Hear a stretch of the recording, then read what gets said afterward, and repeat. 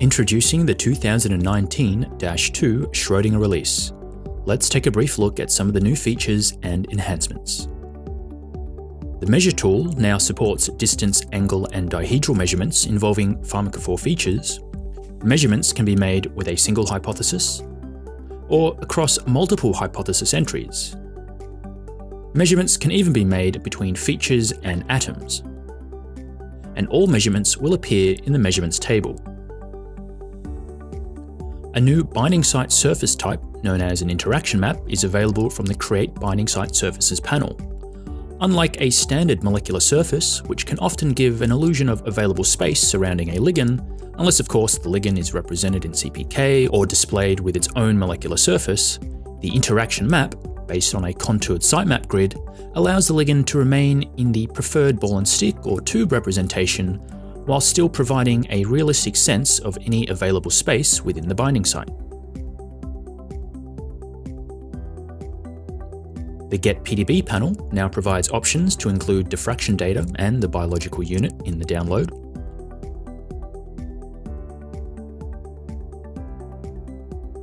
Over in the FEP Plus panel, a new Map Info button can alert users to potential issues with an FEP map, here we can see the health status of the receptor and ligands, the type of FEP map, if any cycles of the map have high hysteresis, in this example there is, so note the advice to further investigate the issue. If hot atom selection exceeds the accepted maximum limit, if the FMPDB archive information is present, and any issues about the map topology, such as whether there are completely disconnected nodes or if nodes are not part of a full cycle, as in the case here, along with a suggestion to fix the issue.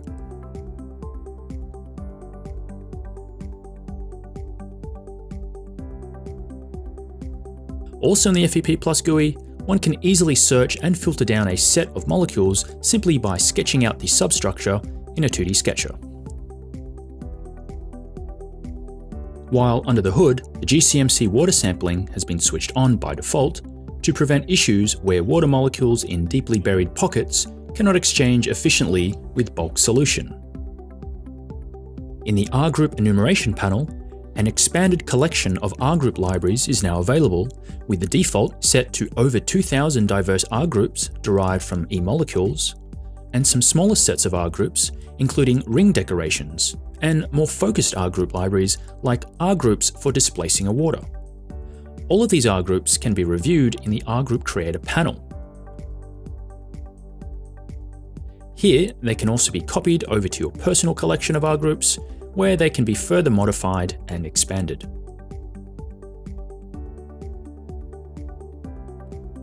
While over in the reaction-based enumeration wizard, property and or smarts filtering can now be applied to each individual reactant in addition to the final product.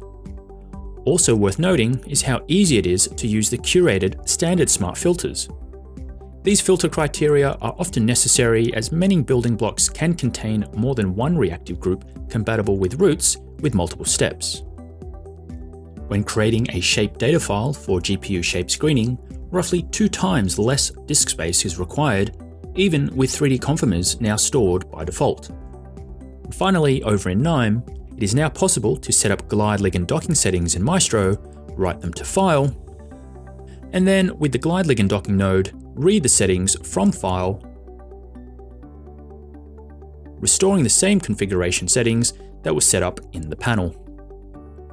These are just some of the new features in the 2019-2 Schrodinger release, as always, for more information, visit schrodinger.com slash new features.